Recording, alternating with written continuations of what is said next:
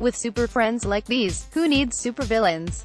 A new trailer for the animated comedy Teen Titans Go! to the movies, a big screen spin-off of the popular Cartoon Network series, absolutely savages its live-action cousins in the beleaguered DC Extended Universe.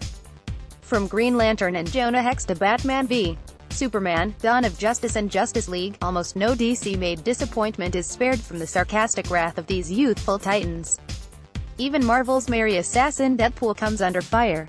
One of the trailer's funniest riffs involves the Titans tangling with frequent nemesis Wilson Slade, aka Deathstroke, voiced by Lego Batman himself, Will Arnett, who does bear a passing resemblance to the Merc with a mouth. Why does everybody think I'm Deadpool? protests Slade, whose appearance in the DCEU was teased at the very end of Justice League.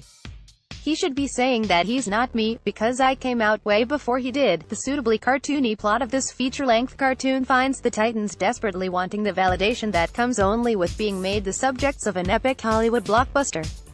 Batman's resident boy wonder, Robin, Scott Menville, is taking his absence from DC's movie slate particularly hard.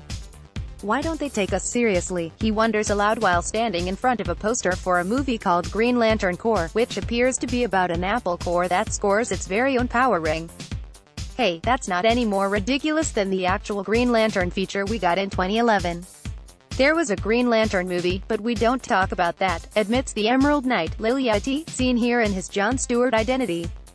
Other digs at DC's track record of underwhelming superhero movies include a poster advertising the sleep-inducing cinematic brawl Batman v. Joker, Dawn of Justice and the presence of Nick Cage as the voice of Superman, a role he almost played in live-action form in Tim Burton's Beautiful Superman Lives. Not surprisingly, the only hero who emerges unscathed is the company's reigning box office champ, Wonder Woman. Rule no. One of being a superhero, don't make fun of the Amazon. Read more from Yahoo Entertainment.